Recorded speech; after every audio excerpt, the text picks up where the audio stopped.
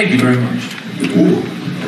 Wow, how things have changed. How things have changed. I remember the first time I ever did a convention. Dark, cold winter day in Syracuse, New York. Small, poorly attended, very skeptical audience, still very loyal to Kirk and Bones and Spock. And I was waiting in the dealer's room, and they were selling those uh, action figure, the younger, thinner version of all of us. they had a uh, like a limited die lot data for 60 bucks, and old Baldy was selling for 65 bucks. LeVar's there, and Tasha's here for 45 bucks. And at the end of the table is a sign that says, buy any action figure, get Riker free. Somewhat humbling, yet true. So this is great. Thank you guys very much for coming. I've had a blast this weekend, and I'm overwhelmed that it's been 20 years since we all started. Um, I guess we should do this as a as a Q&A. You guys don't have any questions, I'm sure. Where do we start? Yes, sir. You've uh, directed quite a few episodes of Star Trek TNG and, and the rest. Uh, you did eight episodes, if I remember correctly, uh, the new generation, or the next generation. And uh, one of my favorites was uh, The Offspring. Uh, how did you pick, did you get to pick which one you direct? Or Oh, that's a good question. Um, directing on television is, is very much the luck of the draw. As you can imagine, with 26 episodes a year, they're not all going to be home runs, to use a, a baseball analogy. what happened to the Blue Jays? I hated them when they were contenders. What happened to this team? Wow, no pitching is right. Vernon can't, can't handle the whole team on his shoulders. At any rate, you are um, you're you're really the at the whim of of how good the script is. The one that I got had two things going for it. First of all, it starred Brent, so a good data episode is hard to beat.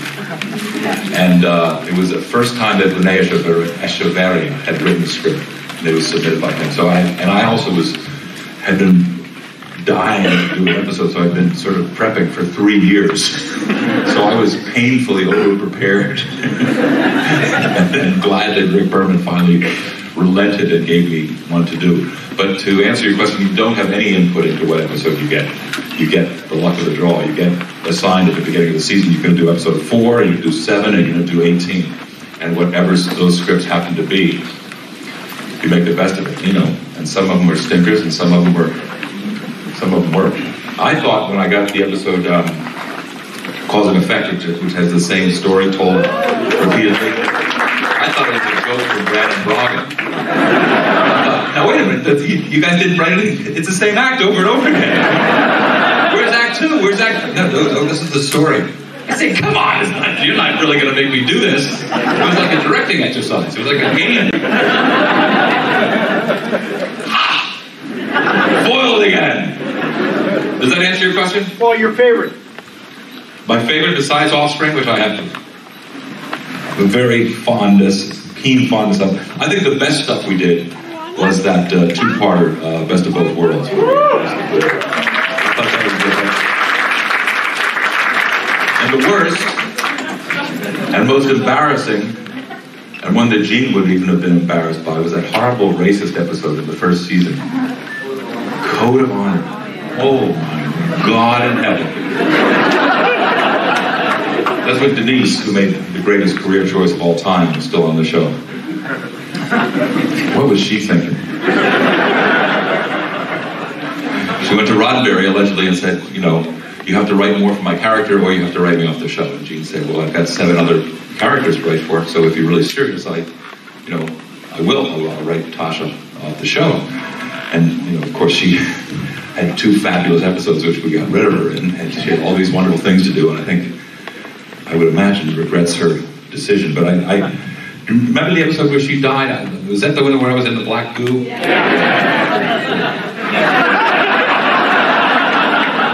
Know, that was Metamucil.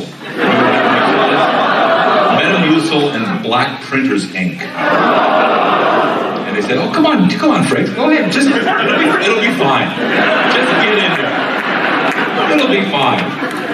It was poor Will Toms, one of the special effects guys, was already in there. His skin had already turned this horrible gray color. So I got in, I spent the day in this black muck, and they finally finished. I got in the back of a pickup truck, and they took me to the uh, industrial end of the lot where they hosed me down. I did. How's it going? Do you miss me? I'll be up there soon. So I was stuck and they watered me down and they hosed me down and I get back and I'm just about to get cleaned up and they say, bring Franks back in. We have to get shift. So I get back in the bucket. Anyway, in that episode, do you remember the, the holodeck doors open, this rolling green hills? We were all, frankly, sad that Denise was leaving because we had become kind of a family and we cared about her. And the, so the, the characters were sad and the actors and the people were sad. And it was kind of a, it wasn't the happiest day of our lives. And Patrick, God bless him, lightened the load for all of us because as the doors opened on that holiday room, that big rolling thing, he, he strolled out and sang, The Hill! True story. Old Baldy. Captain Pecan, the wackiest nut in the galaxy. Listen, very nice ensemble, by the way. I know. Is that the wait? Can you just do the Picard? You have to, don't you? Is it necessary? Do you walk like this?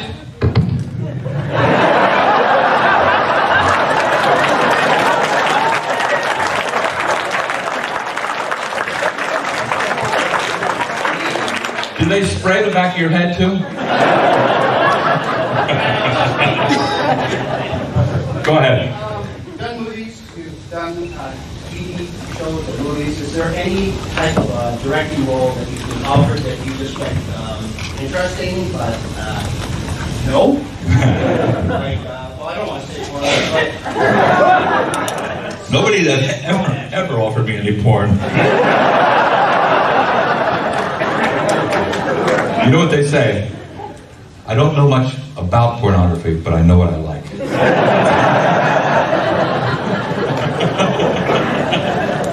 I always like that line. I'm not sure quite why.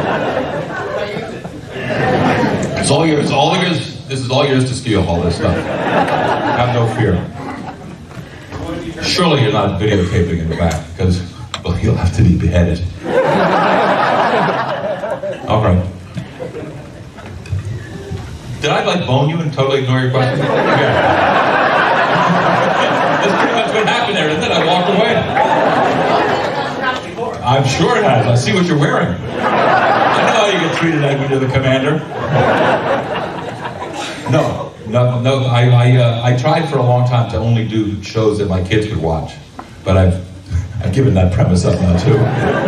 I did this thing that was on last night that is so incredibly dark. This thing called um, uh, The Discarded, which was written by Harlan Ellison, who's a classic Star Trek writer, and written by Josh Olson, who wrote History of Violence and stars Brian Dennehy and John Hurt and James Denton, the guy from Desperate Housewives. It's about a, a spaceship full of, of mutants, one of whom is played by Harlan Ellison with a cow's udder growing out of his neck. And John Hurt has a second head growing out of his shoulder. And it's really dark and really depressing. So tune in. and gather the kids. yes. Uh, over the, time, the course of the show, how many times did you and the cast drive directors to distraction grant? Oh, God. He asks a question. We were, as you probably heard, not the most disciplined cast. I think part of it was because the work that we did was so serious. We always seemed so serious. Red alert! And shields up and arm the assholes on torpedoes and all that shit, you know? But we were always serious. Everything was serious. No levity. So between takes, it was madness, especially on the bridge, because Brent was insane. And dance, and Dorn used to dive over the top of the thing and tackle Patrick, and threatened to crash an egg on the top of his bald head. It was really, it was, it was chaos. It was really chaos, and directors who didn't know us were driven, driven to insanity. One guy walked off the set. He left. He went to Rick Berman and said, they won't listen to me. I finally learned, I, I finally learned that the only way to get everybody to shut up was to yell action. So I just, because rehearsals were, nobody rehearsed. Nobody, it was just, it was madness. It was impossible to be a director on that show. And I found out the hard way. But it was, um, if you called action, all of a sudden, everybody did, did their job. So I just screw rehearsal. We'll just shoot until you people shut up. That's the approach you had to take. But we were shameless. It was, and nothing was sacred, so everybody abused everybody else verbally, constantly. And so if you had any thin skin or if you came in tired and moody, that didn't go down very well. It was a very silly place to work. And Patrick, we had to, you know, Americanize, because he, he, was he was a serious actor Royal Shakespeare. I remember him sitting in the uh, the middle of the the bridge and getting bombarded by uh, some alien fire on the ship, and we all pretending to shake. Marina's, what is that? Marina? She's over here with her hair perfect shaking around, making sure she looked good. I'd be over here on the other side, throwing myself around the thing. And old Patrick in his uh, ergometrically designed chair, holding on. And I hear this little voice, not little voice, this big voice, as he's rumbling around, pretending to be hit by phasers. Oh, Jonathan, Jonathan. 25 years of the Royal Shakespeare Company.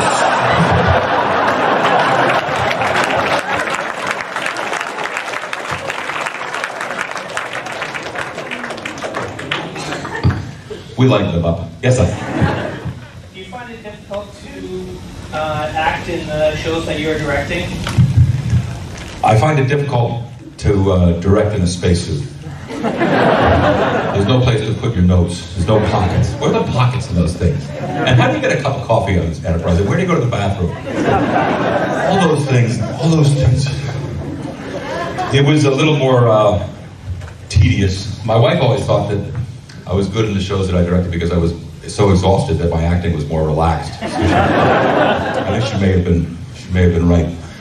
It was easier, I thought, to not act in the shows that I was uh, directing, but it was inevitable in that show on certain nights. Yes. Um, uh, um, in the episode Second Chances, um, did you find it difficult acting with yourself?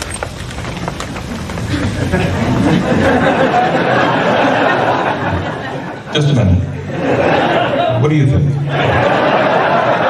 I thought it was fine.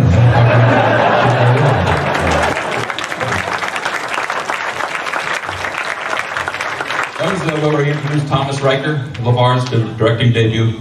This is a true story. Marina, who we all adore, right?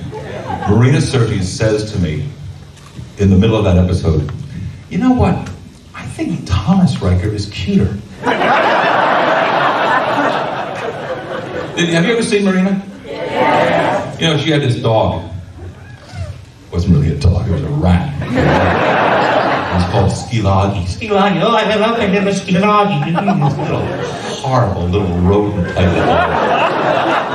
And the one day it rained in LA, she used to bring Skilagi to work in a little bag, like a little movie star. She had Skilagi in a little bag. So it's raining, she's bringing this little wet rat into the makeup room. And Michael Dorn and I, being gentlemen, said, Marina, go ahead. Get your uh, wig put on or whatever the hell it is you do. We'll take care of Skilagi. We'll dry him off. So we took little Skilagi, put him in the microwave, put around 45 seconds to dry him off. Then we took him out and we drop kicked him. Right out of the trailer. That's not true. None of that's true. Skilagi.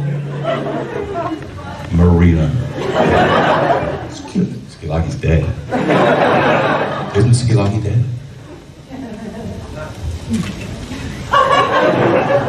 I could call. Would this be a good time? Give Mina hi, Jonathan. Is Skilagi dead? I'm, I'm just telling people in Toronto. Yeah, I'm sorry to bring it up. Yeah, Skilagi is dead. Yes, sir.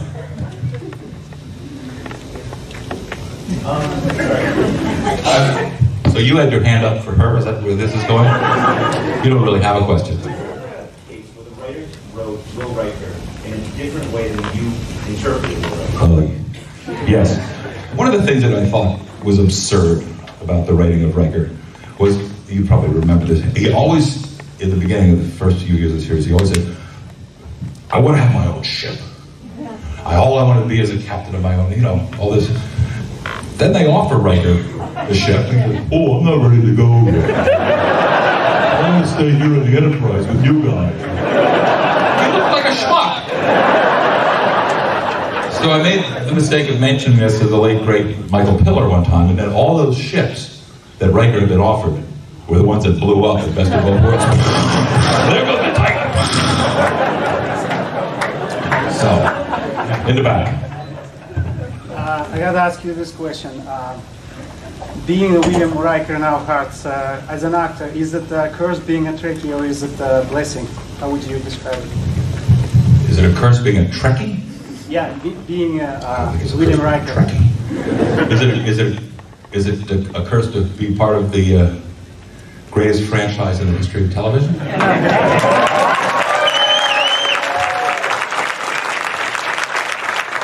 I mean, sometimes I'm, I'm very thankful that I learned to direct because I wouldn't want to be trying to make a living as a, you know, 50-something actor who was really, oh, you're the guy from Star Trek. There is a lot of that.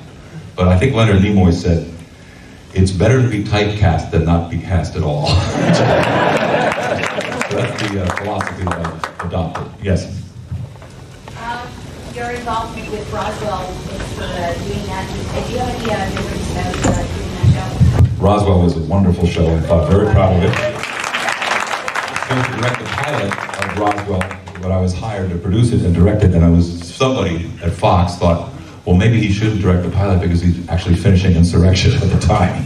So uh, David Nutter did a wonderful job of that, and we take great pride in having discovered um, Katherine Heigl, who's now the star of Grey's Anatomy. I thought Roswell had a great cast. Wonderful Canadian actor Brendan Fehr was in that show. And the sweetest kid was um, Tom Hanks' son, Colin Hanks, who was also in the show. Roswell was filled with uh, uh, what I thought were some problems in that there were the, the secret on Roswell that these guys, these gorgeous kids, happened to be aliens. Wasn't much of a secret because it seems that everybody in the town knew. so I never really got how that was worked out.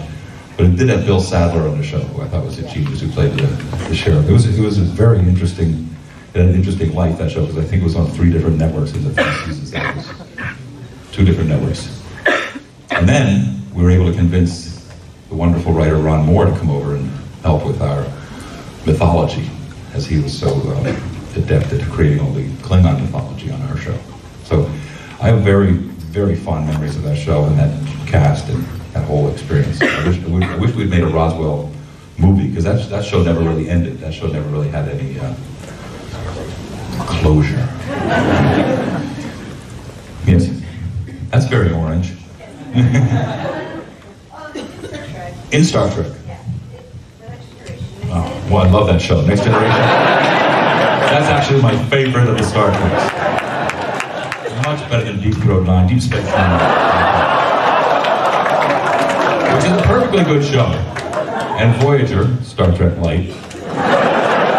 And whatever that show was that Marina and I did there at the end. With Scott Bakula. Enterprise. We take enough shots, everybody?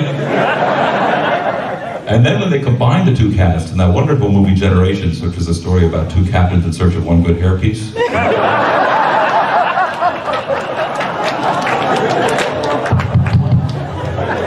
Is this thing on?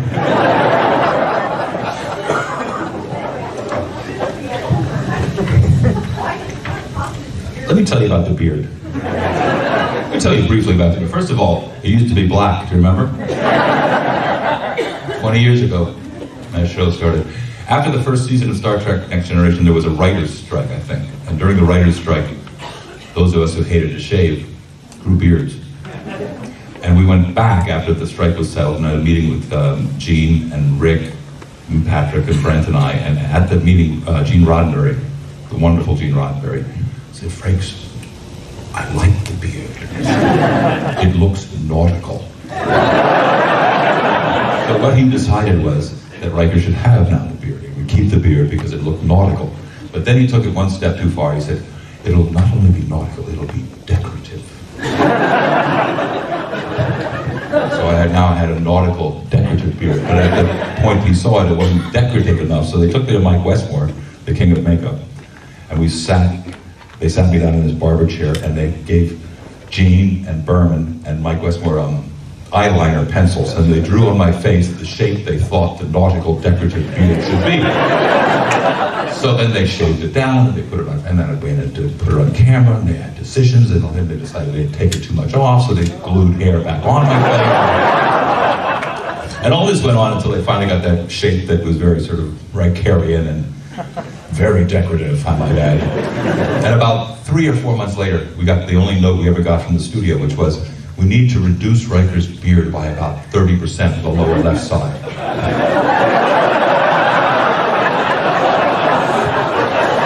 That's the note from the studio on Star Trek.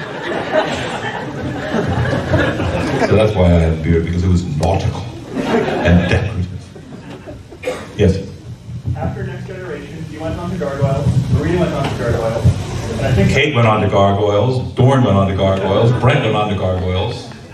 uh, what was it like taking people you already had worked with into a different show and a different type of environment? Gargoyles was the greatest job in the world. You could go to work in your pajamas. You could, you could go to work in your pajamas, you sat in a chair, the script was in front of you, you never had to learn your lines. You sat in a room, you acted with your friends.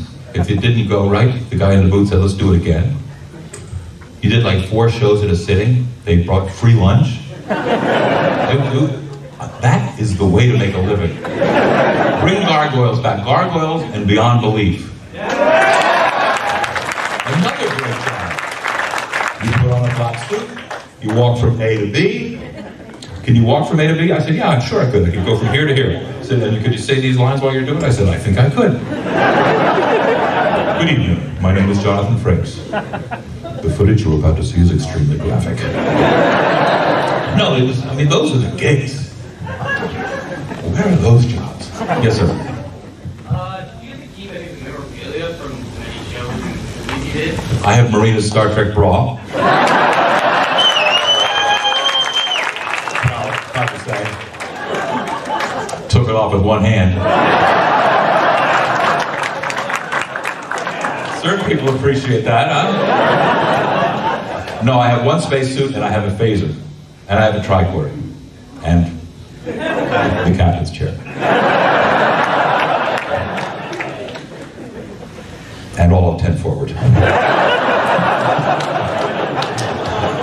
we weren't allowed to take anything off the show. Yes, sir.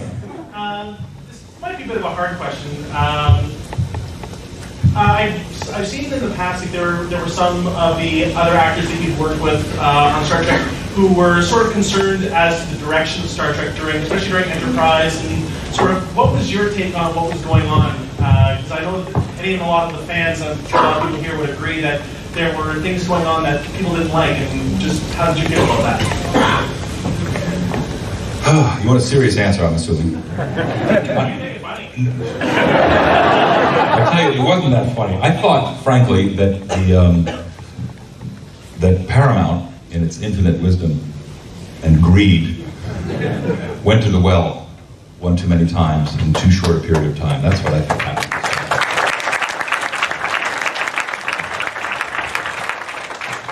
And uh, speaking of Enterprise, it was a very awkward. You know how Marina and I were called in to do the last episode, and Scott Bakula, who I think is a wonderful guy and a wonderful actor a great captain, I felt very strange. So I went up to him and I said, Scott, I know that if this were my show, I would feel pissed off or put out or indignant that someone from another show was brought in. First of all, this, the show was canceled prematurely, and, and someone was brought in to do the last episode when everybody's in mourning and all stuff. So, and he said, "I'm fine with it. Welcome. He was, he was such a mensch and such a gentleman about the entire experience. I was uh, doubly impressed. But it, it's a little, it was a very uncomfortable way to take it out. It was great to be with Marina again. Obviously, it was great to see that we could still get into our spacesuit. but I thought it was a very thin line to the Defiant and a very even thinner line to the Enterprise, and not not the kind of power. I mean, I know it was Rick's intention was that it would be a um, a Valentine to the to the fans, which I think the intentions were good. I'm not sure the execution was as, as you know what I mean. It was it, was uh, awkward. Always good to have a job, but it was awkward. yes, sir. John de Lancie is a genius, first of all. And I always thought, I don't know how you feel, I always thought that one of the movies should have had Q. You know? maybe Nemesis. Ooh.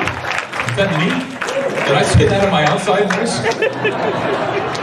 What a, what a way to go out. I think de Lancie is so gifted and so, he's like Brent. He's always clever, he's quick, he's he's magical. He's, he's perfect for the part, obviously. And um, he was like our litmus test because he used to come through every a couple times a year, or at least once a year. So I always could always go to him and, and we, he's a great person to judge how the, the series went because he wasn't with us every day in the trenches, but he was a member of the family because he'd been on the pilot. I'm a huge fan. I'm actually going to see him. I think he's in Atlanta with us. We're doing the uh, what's that called, Dragon Con. So I'll be down there with, with um, Brent and Gates and de Lancie, and I'm looking forward to a big steak dinner and catch up with de Lancie. He's also a he's a fascinating guy who's um, I think his father was a conductor or an oboe player with the Philadelphia Orchestra, so he was raised in an interesting environment. He's a, he's, a, he's one of my favorites. And the other guy out here, Dwight Schultz, another favorite of our, of our guys.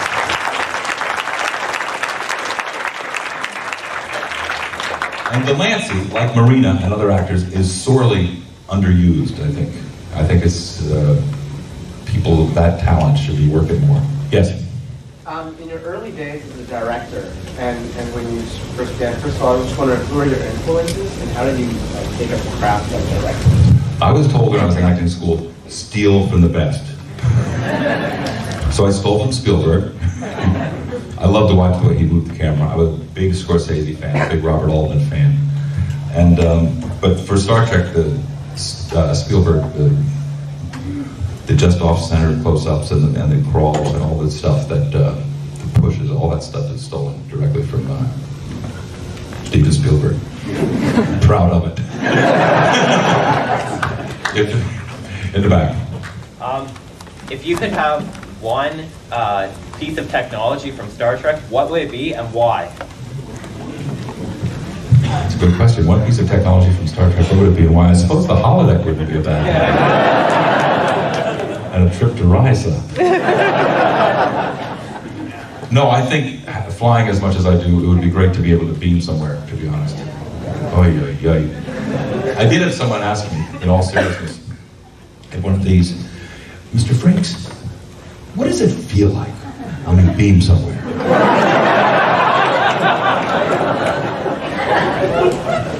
and they were serious. So I had to tell them, naturally, Mr. Frakes, what does it feel like? I don't know. It would be great to be able to beam in and beam out. Let me see if I can do it. Oh, I'll do one impersonation. I do a very limited number of impersonations. See if you know what this is.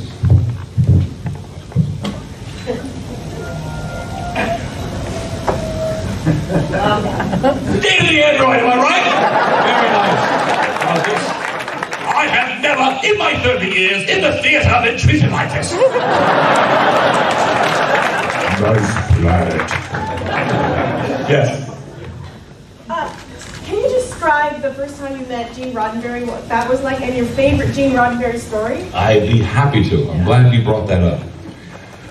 Roddenberry, the late great magical man, took me under his wing because when I was auditioning for Riker, it was a uh, I auditioned like six, seven times over this long six-week period because a different level of uh, administration, people at Paramount needed to be convinced that I could play the part and all this crap. And it was just, it was an ongoing process, much harder than to get the job than it ever was to do the job.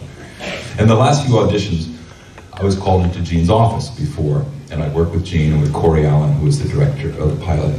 And I remember one time, Roddenberry, who I believe saw himself a little bit in Wesley and a lot in Riker and a little bit in Picard. I think that that was sort of where Gene, that was uh, that was Gene. That was where he wrote his vision was across those three characters, I, I believe. And he said to me, and he was serious, and, it, and I took it to heart. He was trying to get me into the uh, sort of the frame of mind, to do the audition well, and to to be in the place that he wanted Riker to be. And he said, Jonathan, in the 24th century, and he believed this, and I think we would be so lucky as to to land there. In the 24th century, there will be no hunger, and there will be no greed, and all the children will know how to read. And I thought that was that's my favorite Gene Roddenberry story. He was a great man. I was very lucky to work with him, and very irreverent and very funny, and the biggest hands of any living human. yes, sir. Going back to Gargoyles, what was your Must we? Just kidding. May we?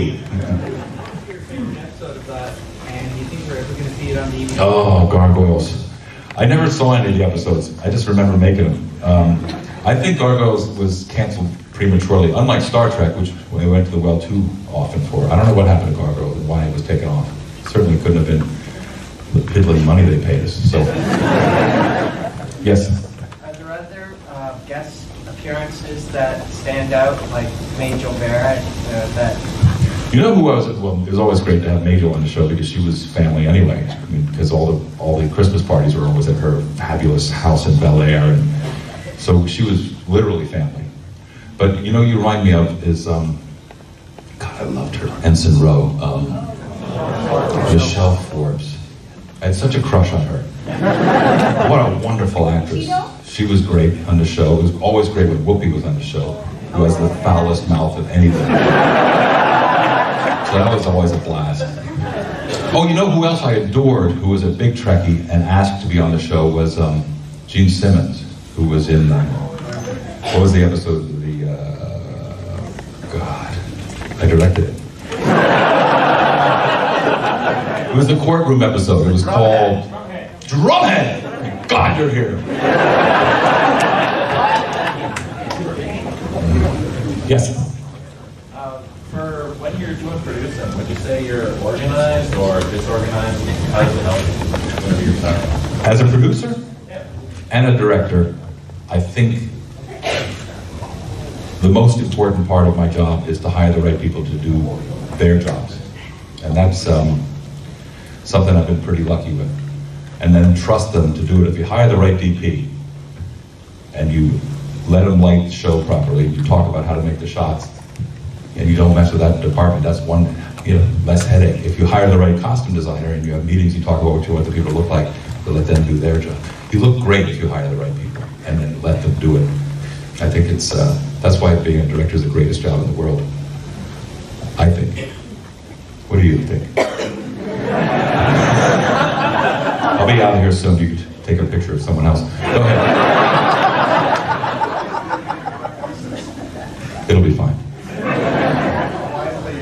You know what? Why didn't I direct Nemesis? Nobody asked me to direct Nemesis. I was available. You know what I think? I know you didn't ask, but I'll tell you anyway. Oh, now you want to take a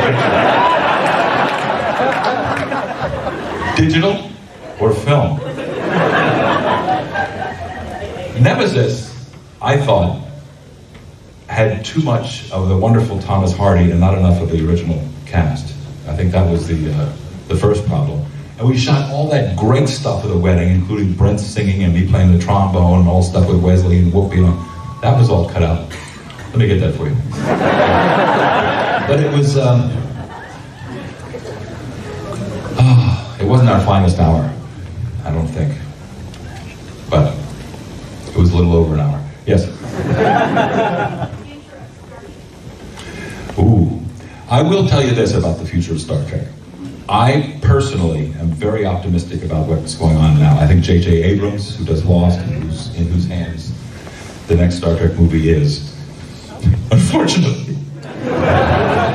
Not that I'm bitter. Seriously, I think J.J. Abrams, I love Lost. I think he's a great storyteller. And everything I've heard is that he's, he's contacted Bill and Leonard, and I love this kid from Heroes, uh, Quinto, who's playing Spock. I think that's great. I gather that Abrams has a real uh, deep respect for Roddenberry's vision of the, of the original Star Trek and the Prime Directive. So I think, I think we're in good hands. I mean, time will tell, but I certainly think that if it's not us, it's certainly someone who does care about the franchise and care about the characters, and I'm, I'm very, very hopeful that it's, uh, aren't we all? I mean, you don't want to go out with Nemesis as the last movie. yes, sir. Yes, we saw uh, Months ago, and you said uh, during closing, you misrepresented you were bringing sidekick and he was the main character. I misrepresented something about Marina? No, no, no. Marina was the lead in Gargoyles. Just ask her. She was the lead on Star Trek. She had the most hair and the biggest boobs. Well, next to Worf. Now, I had an idea. Tell me what you think of this idea. Half hour sitcom. The Rikers in space. Their wacky Uncle Data and their little dog Worf. On the Titan, right? We're married now.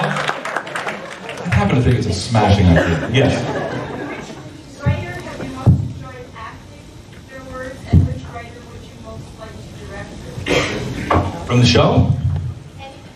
Um, I must say that for my first venture into motion pictures, I was given a gift with uh, Brannon and Ron's first contact. I thought, it's like it's what we talked about earlier about Offspring. That script was so strong and stood on its own without having to be, I think it stood on its own as a movie without, you didn't have to know anything about Star Trek is what I'm trying to say. It was a movie that was, it was a horror movie, it had comedy in it, it had drama, it had action, and pathos, it was funny, it, well, it was, it had it all, and it was big, and it was well cast, I was lucky to get Alfre and Cromwell and stuff, so that will always be a, a favorite. Um, the second question is a good one. I don't know. I'll think about it. I don't have an answer for that one. That doesn't happen often. Someone who. Speaking of Titan, uh, Hey, speaking of Titan, am I talking to you? Get it. Yeah, go ahead. speaking of Titan, have you read the uh, uh, the pocket novels? I, I can't read, so I've I've heard they're very good. The only ones I read was Imzadi, which took about three months to read on tape. Because I do all silly accents. I feel great pain from both of them. Uh, yeah, when you first got into TNG, had you like watched the original Star Trek, or were you at all a fan of it? I was not as familiar with the original Star Trek as people like Dorn and, and uh, Wil Wheaton were, but I, I went to the video store and boned up on my uh, Star Trek. I didn't have any idea that it was such a part of the popular culture. But it reminds me of two things that I will share with you. One is my beautiful and talented wife, Genie Francis, who plays Laura. When she grew up, she used to have a poster, not only of uh, David Cassidy, but of Captain Kirk on her wall. And right after the show started, I went home to see my mom and dad in Bethlehem, Pennsylvania, where I live. And big as life on the refrigerator door is a picture of Patrick Stewart. I'm not quite sure what the message is there or the connection, but it's true stories. We never pulled any pranks at all on ourselves. You know what it was? It was work. Work, work, work. Very serious work. Red light! In the back. Hi, um, I'm like the episode. That's probably Marina.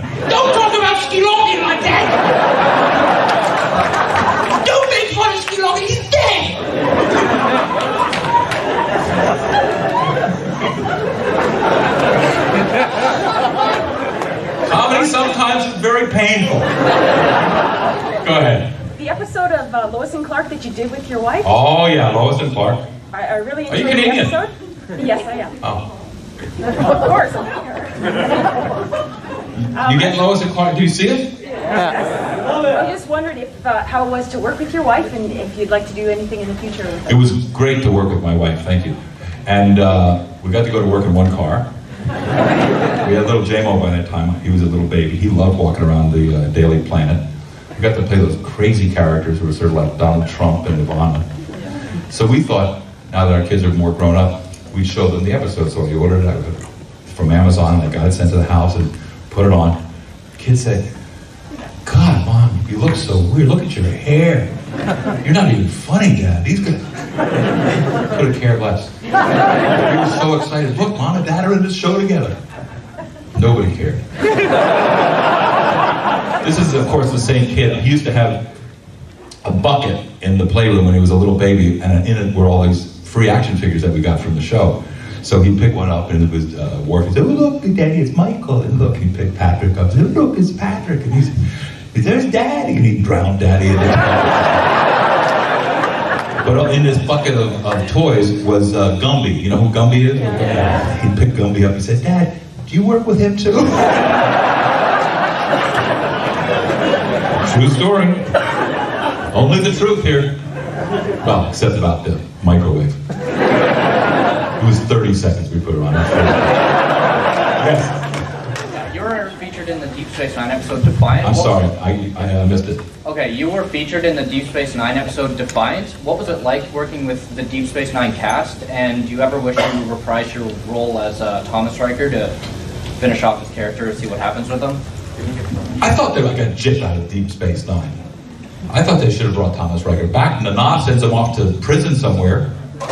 Isn't that what happened? I went to some Cardassian prison. I like Deep Space. I was a a big Avery fan. I love Colm. Terry's hysterical. I always like working. I love working over there as a director. As a matter of fact, somebody yesterday asked me to uh, to mention Deep Throat, Deep Space Nine. And, uh, it was a darker show, obviously. Ira made it a lot darker. I thought it was a great show, and uh, the cast was. I will tell you all that I have been uh, told to wrap it up. I want to thank you all. I've had a blast here, and I had no idea that the fans were still this strong. God bless you all.